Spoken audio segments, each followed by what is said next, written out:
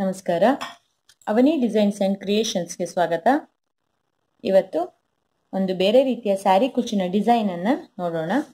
ಇಲ್ಲಿ ಗ್ರೀನ್ ಸ್ಯಾರಿ ಇದೆ, ಇದರ ಪಲ್ಲು ಲೈಟ್ ಗ್ರೀನ್ ಇದೆ, ಸ್ವಲ್ಪ ಗೋಲ್ಡಿಶ್ ಕಲರು ಕಾಣಿಸ್ತಾ ಇದೆ. ಅದಕ್ಕೆ ಇಲ್ಲಿ ದಾರವನ್ನು ಗ್ರೀನು ಮತ್ತು ಗೋಲ್ಡನ್, ಸ್ವಲ್ಪ ಡಾರ್ಕ್ ಗೋಲ್ಡನ್ ದಾರವನ್ನು ಸುತ್ತಿಟ್ಕೊಂಡಿದ್ದೀನಿ. ಹೇಗೆ ಮಾಡೋದು ಅಂತ ನೋಡೋಣ. ಫಸ್ಟು ನಾಲ್ಕು ಲಾಕನ್ನು ಹಾಕ್ಕೋಬೇಕು. ನಾವು ಫಸ್ಟ್ ದಾರ ತೆಕ್ಕೊಂಡಿರೋದು ಕೂಡ ಒಂದು ಕೌಂಟ್ ಆಗುತ್ತೆ. ಒಂದು ಲಾಕ್ ಅಂತ ತಗೋಬೇಕು ಮೂರು.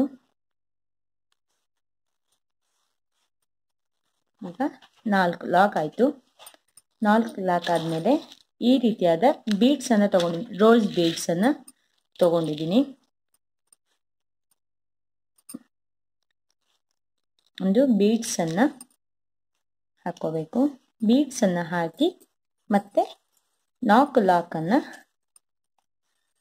ಹಾಕೋಬೇಕು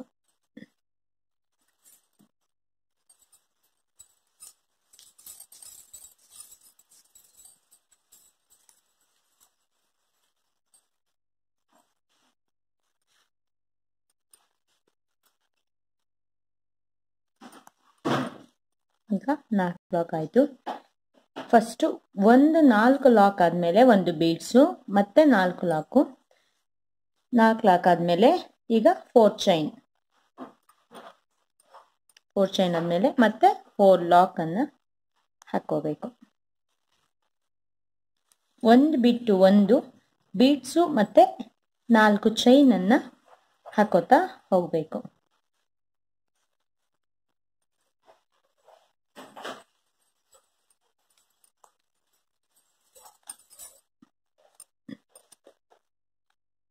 ಈಗ ಇಲ್ಲಿ ನಾಲ್ಕು ಚೈನ್ ಹಾಕಿದ್ವಿ. ಈಗ ಬೀಡ್ಸನ್ನು ಹಾಕಬೇಕು. ನಿಮ್ಗೆ ಇಲ್ಲಿ ಬೇಕಾದರೆ ದೊಡ್ಡ ಬೀಡ್ಸನ್ನು ಕೂಡ ಯೂಸ್ ಮಾಡ್ಕೊಬೋದು. ನಾನಿಲ್ಲಿ ರೌಂಡ್ ಬೀಡ್ಸನ್ನು ಯೂಸ್ ಮಾಡ್ತಾ ಇದ್ದೀನಿ.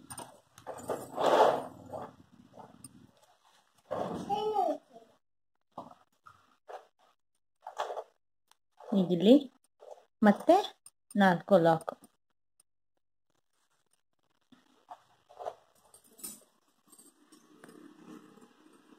ಒಂದ್ಸರಿ ನಾಲ್ಕು ಲಾಕ್ ಆದಮೇಲೆ ಒಂದು ಬೀಡ್ಸು, ಮತ್ತೆ ನಾಲ್ಕು ಲಾಕು, ಆಮೇಲೆ ನಾಲ್ಕು ಚೈನು, ಮತ್ತೆ ನಾಲ್ಕು ಲಾಕು ಬೀಡ್ಸು, ನಾಲ್ಕು ಲಾಕು, ನಾಲ್ಕು ಚೈನ್. ಹೀಗೆ ಮುಂದುವರ್ಸ್ಕೊತ ಹೋಗಬೇಕು. ಈಗ ಸೆಕೆಂಡ್ ಸ್ಟೆಪ್ ಹೇಗೆ ಅಂತ ನೋಡೋಣ. ನೋಡಿ ಫಸ್ಟ್ ಸ್ಟೆಪ್ ಫುಲ್ ಆದಮೇಲೆ ಈ ರೀತಿಯಾಗಿ ಕಾಣಿಸುತ್ತೆ. ಈಗ ಸೆಕೆಂಡ್ ಸ್ಟೆಪ್ಪನ್ನು ನೋಡೋಣ. ಈಗ ಈ ಕಲ್ಲರ್ ದಾರವನ್ನು ತಗೋತಾ ಇದ್ದೀನಿ ಫಸ್ಟ್ ಲಾಕ್ ಇರುತ್ತಲ್ಲ ನಾಲ್ಕು. ಆ ಲಾಕಲ್ಲಿ ಮೂರು ಲಾಕ್ಗೆ ಲಾಕ್ ಹಾಕ್ಕೊಂಡು ಈ ಬೀಡ್ಸಿನ ಸುತ್ತ ಬರೋ ಥರ ಚೈನ್ ಹಾಕ್ಕೋಬೇಕು. ಇಲ್ಲಿ ಫಸ್ಟ್ ಲಾಕ್ ಇರುತ್ತಲ್ಲ, ಆ ಲಾಕ್ಗೆ ಒಂದು ಲಾಕನ್ನು ಹಾಕಬೇಕು. ಇಲ್ಲಿ ನಾಲ್ಕು ಇರುತ್ತಲ್ಲ, ಈ ನಾಲ್ಕು ಚೈನಿಗೆ ಕಂಬವನ್ನು ಹಾಕೋತಾ ಬರಬೇಕು.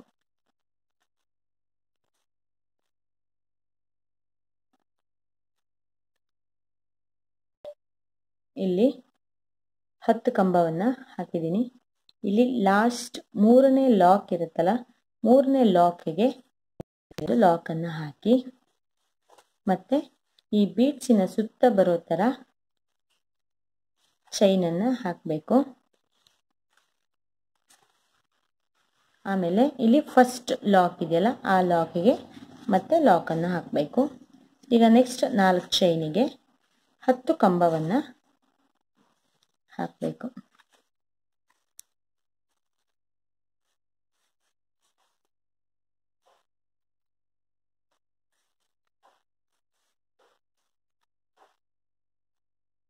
ನೋಡಿ. ಬೀಡ್ಸಿನ ಸುತ್ತ ಬರೋ ಥರ ಯಾವಾಗಲೂ ಚೈನ್ ಹಾಕ್ಕೊಂಡು ಹೋಗಿ ಈ ಡಿಸೈನಲ್ಲಿ ಅಂದರೆ ಕುಚ್ಚಿನ ಮೇಲ್ಗಡೆ ಬೀಡ್ಸ್ ಬರುತ್ತೆ. ಆವಾಗ ಒಂಥರ ಗ್ರ್ಯಾಂಡಾಗಿ ಕಾಣಿಸುತ್ತೆ. ಇಲ್ಲಿ ಆರ್ಚಿಗೆ ಸ್ಟೋನ್ ಚೈನ್ ಅನಿಸಿದ್ರೆ ಇನ್ನೂ ಗ್ರ್ಯಾಂಡಾಗಿ ಬರುತ್ತೆ.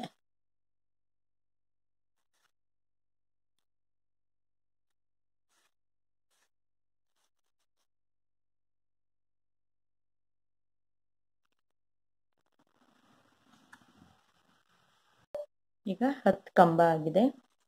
ಹತ್ತು ಕಂಬ ಆದಮೇಲೆ ಇಲ್ಲಿ ಮೂರನೇ ಲಾಕಿಗೆ ಲಾಕ್ ಮಾಡಬೇಕು.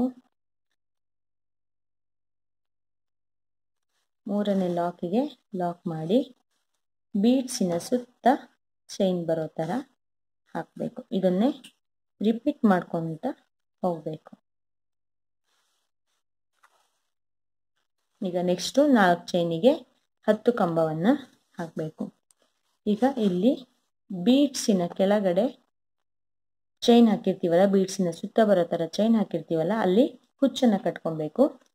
ಇಲ್ಲಿ ಆರ್ಚಿಗೆ ಸ್ಟೋನ್ ಚೈನ್ ಬೇಕಾದರೆ ಅಂಟ್ಸ್ಕೊಬೋದು, ಇಲ್ಲ ಅಂತಂದರೆ ಇಲ್ಲಿ ಬೀಡ್ಸನ್ನು ಹಾಕಿ ಒಂದೊಂದೇ ಬೀಡ್ಸಿಗೆ ಲಾಕನ್ನು ಮಾಡ್ತಾ ಹೋಗಬೇಕು. ಇದು ಪೂರ್ತಿ ಡಿಸೈನ್ ಆದಮೇಲೆ ಹೇಗೆ ಕಾಣಿಸುತ್ತೆ ಅಂತ ನೋಡೋಣ. ನೋಡಿ, ಪೂರ್ತಿ ಆದಮೇಲೆ ಈ ರೀತಿಯಾಗಿ ಕಾಣಿಸುತ್ತೆ.